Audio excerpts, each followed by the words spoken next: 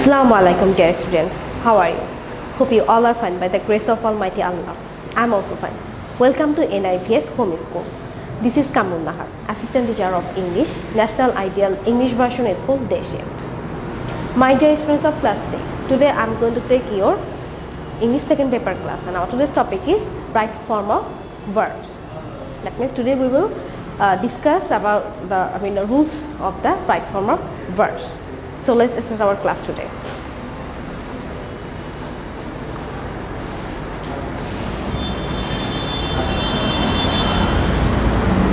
So dear students, now look today we will discuss uh, I mean few rules uh, of the use of the right form of verbs and this is part 1. Uh, so in our next class we have discussed uh, more rules. Now look at the first rule, number 1. If the subject is in the third person singular number, s or es is added to the verb. So if our subject is in the third person singular number, we will add s or es uh, to the main verb. Now look at this example. The boy go to school every day. In bracket there is the main verb boy. I mean go and our subject is the boy.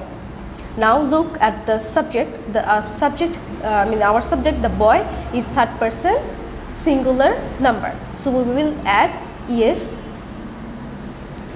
to the verb. Now look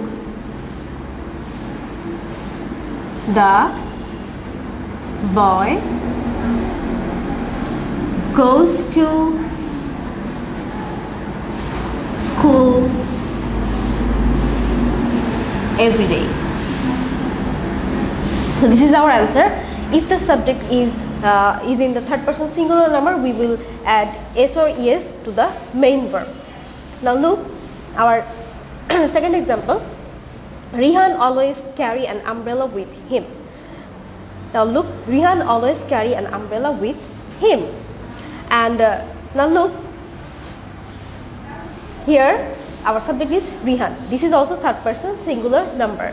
And our main verb is carry. And we know that if the main verb, I mean ends with y, we will drop y and we will add is to that verb.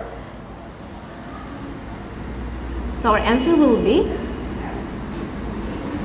Rihan always carries that means C A double R I E S. We drop Y and we add I E S. If you want to add ES or S to the I mean uh, ES to the verb which ends with Y we will drop Y and we will add IES Rihan always carries an umbrella with him. Now we will go to our next rule. Our second rule is present indefinite tense is used in sentences implying universal truth or habitual fact. So if there's an habitual fact or if there's any, uh, I mean, uh, I mean universal truth, I mean if the sentence, uh, sentence express universal truth or if present indefinite, I mean uh, we will use present indefinite tense in the sentence. That means if the subject is in the third person singular number, we will add s or es to the verb and if the subject is in the plural form, we will not add s or es. That means there will be the base form of the verb. Now look at this example, the sun rise in the east. This is the universal truth. Sun always rise in the east. It is not rise in the west. So this is universal truth or there's an habitual fact like uh, uh, I or she drinks uh, I mean tea every day just like this uh, or she drinks milk every day. So that will be present indefinite tense. Okay, let's do it. The sun this is third person singular number just like the first one and this is universal too that's why it will be present indefinite tense and we know that in present indefinite tense we add s or es to the main verb according to the subject i mean if the subject is third person singular number the sun so it will be rises. Rises in the east. So this is our answer. We add is to that verb. Now we will go to our third rule. Sentence with the adverbs. Now adverbs like always, regularly, often, sometimes, generally, daily, occasionally, usually, normally are framed in the present indefinite tense. So just like the previous, I mean uh, now look at the first rule there is Rihan always. So just like this we will make it present indefinite. That means there will be the uh, I mean uh, what, what will be the form of the verb present indefinite tense. So a good boy prepare his lessons regularly. So in our bracket we have found the verb prepare. Now we will change it. A good boy. Now look at the subject. A good boy it is third person singular number. So we will add s because uh, our verb ends with e. So we will add s. A, a good boy prepares his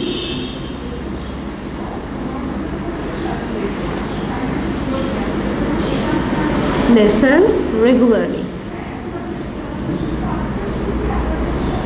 So if you if you have found or if you find always regularly often sometimes generally daily occasionally usually normally uh, in a sentence i mean uh, if you find those adverbs in the sentence it will be present indefinite tense. Now we will go, uh, go to our next example. Now look where mr karim in bracket take his food normally now there is the interrogative sentence we have to make it interrogative and it is very simple we know how to make it interrogative now look uh, at first we will write our WH question when when and now look at the subject Mr. Karim. Mr. Karim is also third person singular number. So we will add s to that verb that means takes. If uh, it is I mean uh, assertive sentence it will be Mr. Karim takes his food normally. Now we need to make it interrogative sentence. So Mr. Karim takes his food normally. So there's no auxiliary verb or helping verb. So we need to use do, did or does to make it interrogative and we add verb to the to the I mean uh, we add sorry s to that verb uh, because our subject is third person singular number and we have uh, we have found the word normally and we know that if the word I mean if we find adverbs like normally it will be present indefinite tense so we will use here does to make it interrogative when does now we will write the subject. When does Mr. Karim and we will not give here dot, we will write Mr. MR. We will not give here, uh, I mean uh, full stop, we will not put here full stop and this is the modern form or you can also put here full stop, uh, it will also correct but this is the old form. When does Mr. Karim now we will write the main form of the verb because we have written here does. When does Mr. Karim take his food? Now the rest of the sentence, I mean uh, after take we will write the rest of the sentence normally. And you must give the interrogative sign. I mean the, the question sign. Now look. When does Mr. Karim take his food normally? Now we will go to our next rule. Now look, to make sentences that is without the be verb, negative or interrogative, do, does or did is used as the tense and subject required, just like the previous one. So if there's no auxiliary verb, that means uh, if there's no be verb or to be verb, if you want to make the sentence negative or interrogative, you need to uh, add do, does or did. That means an, I mean uh, an extra do or does or did to make your sentence uh, I mean uh, negative or interrogative. Okay. Now look at the example. The girl not sing a song. So now look we need to make it negative sentence because there is the not and after uh, I mean at the end of the sentence you uh, I mean you uh, we have found full stop that means this is uh, an statement or assertive sentence but uh, it will be negative form. So at first we will write here our subject the girl. The girl. Now we will make it negative. Now look our tense is in the we can uh, I mean uh, change it uh, to the present indefinite tense. So the girl according to the subject it, sorry it is third person singular number. So it will be does the girl does not now we will write here not the girl does not and we know that after do this or that I mean does there will be the present form of the verb. So the girl does not sing a song. The sing is the base form of the verb sing so it will not change the girl does not sing a song. We need to add does to make it negative. Now we will go to our next example. He come home yesterday.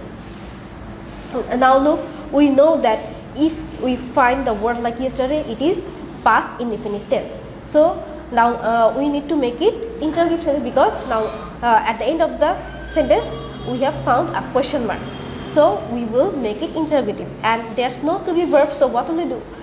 And we know that in present tense we will use do or does according to the subject. And in the past tense we will use did. So we will write did at first. Uh, sorry, it will be did. No, the idea did. And now our subject is he. Now we will write the subject he. Did he. And then there will be the main verb. And now look, our main verb is come. And we know that after do, does, and did, we will write the uh, main verb, I mean base form of the verb, of the present form of the verb. So it will be come. Did he come now? The rest of the sentence home yesterday.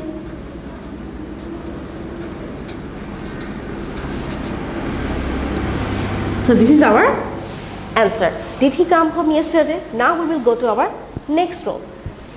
So in WH question the subject is preceded by to be verb or do does did as required by the tense and person just like the previous one now look uh, you need to change uh, change it or you need to use to be verb or do this uh, uh, do uh, did or does according to the tense so now look at the first example what you do now and we know the um, and we know that if we find the word like now or at the moment it will be present continuous tense so we will make it present continuous tense. I mean the sentence will be in the present continuous uh, tense uh, form. I mean uh, so at, uh, what will you write here? At first we will write the WH question.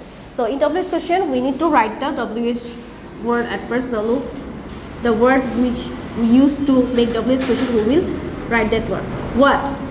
Now we will write the auxiliary verb or do this just according to the tense.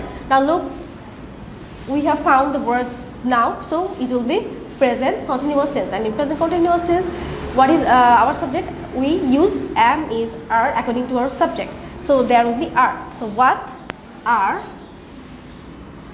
now look WH question the subject is preceded by to be verb or do does did as required by the tense and person. Now look this is our to be verb. Now we will write the subject. What are our subject is you. What are you? And you know that uh, in present continuous tense we need to add ing with the main verb. So it will be doing.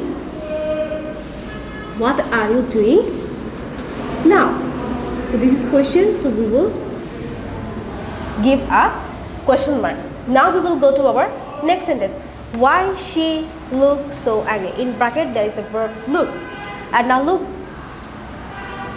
uh, we can also make it uh, I mean present indefinite tense and we can also make it past indefinite tense. So we will go with present indefinite tense. Now look, if the sentence is like, I mean if it is adjective sentence, it will be she looks so angry. So now we, uh, we will make it interrogative. So at first we will write the WH question.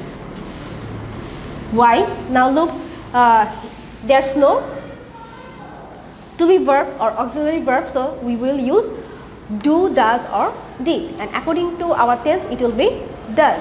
So we will write here does, why does, now there will be the subject she, why does she and we know that after do, does or did we use the base form of the verb or the present form of the verb so oh, I mean main verb so it will be look.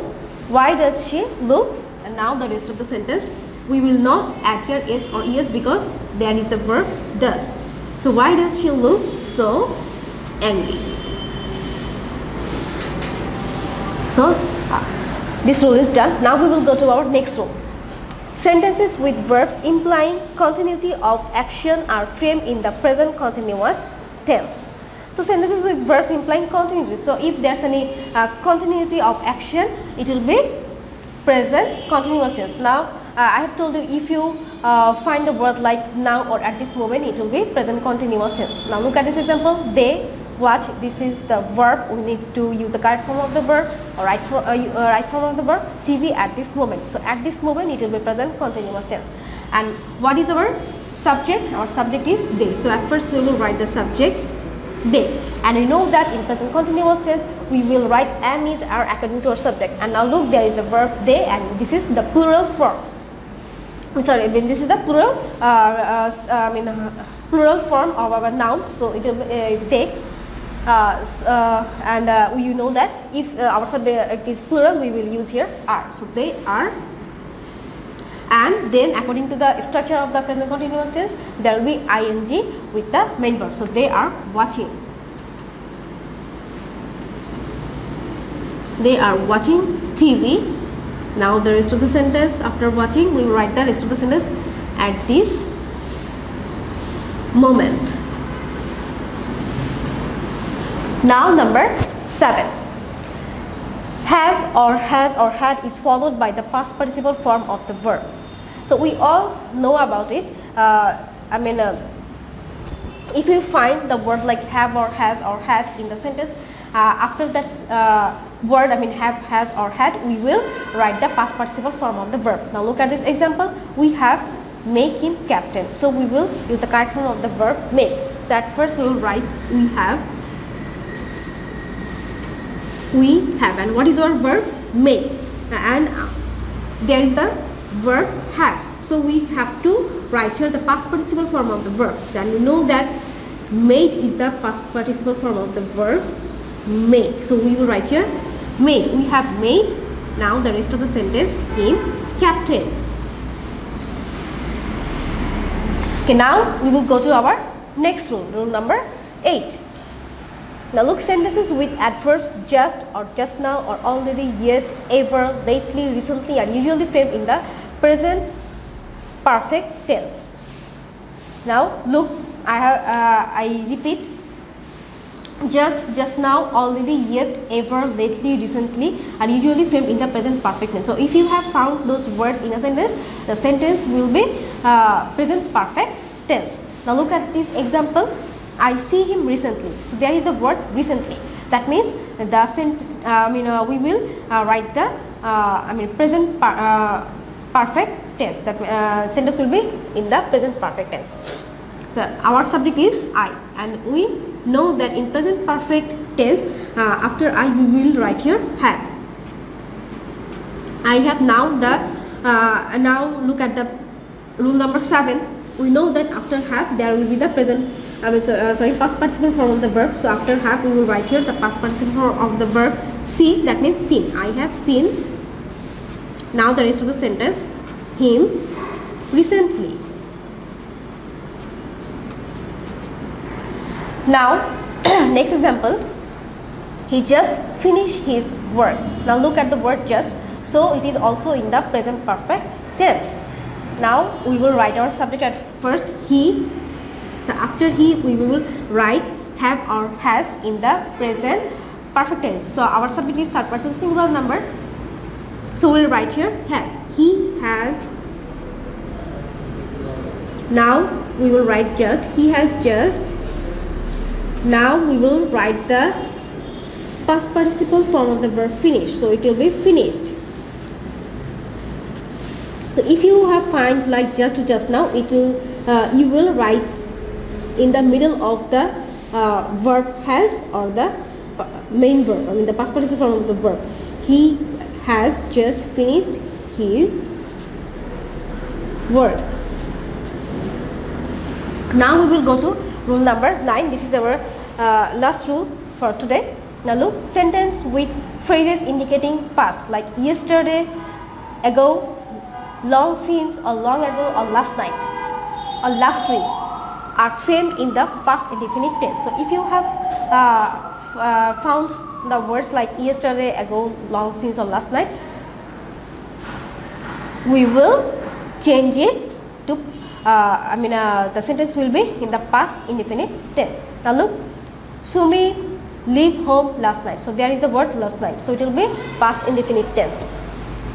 So at first we will write our subject Sumi and now we will write the past form of the verb live and we know that the past form of the verb live is lived. Sumi left. Now the rest of the sentence home last night. Now we will go to next example. I met you long ago. Now look at the word here long ago. So it is also in the past indefinite tense. And I will, uh, I is our subject and then we will write the past form of the verb meet. So it will be met, M-E-T, I met.